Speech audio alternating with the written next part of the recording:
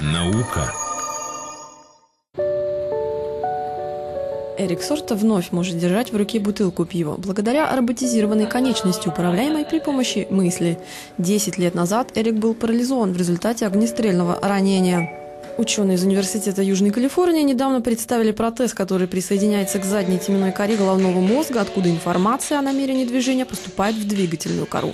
I start thinking Я arm. I просто думаю о my своей роботизированной руке, закрываю глаза и представляю движение. The robotic arm and what I wanted to do.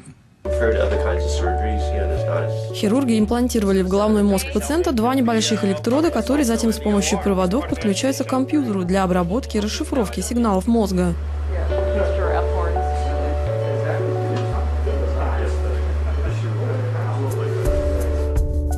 Эти расшифрованные сигналы отправляются уже на устройство выхода, курсор и протез. Ученые говорят о неожиданном успехе. Пациент смог контролировать свою конечность уже в первый день. Рассказывает нейрохирург Чарльз Лью.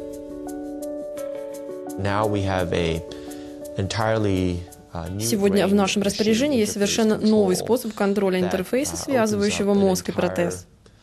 Он uh, открывает новое направление в uh, развитии преобразующих технологий, которые разработаны для того, чтобы дать пострадавшим от неврологических травм пациентам give, возможность uh, стать более самостоятельными.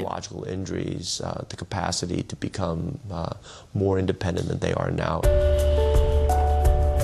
С помощью новых разработок в нейропротезировании ученые смогли сделать движения роботизированных конечностей более плавными и естественными.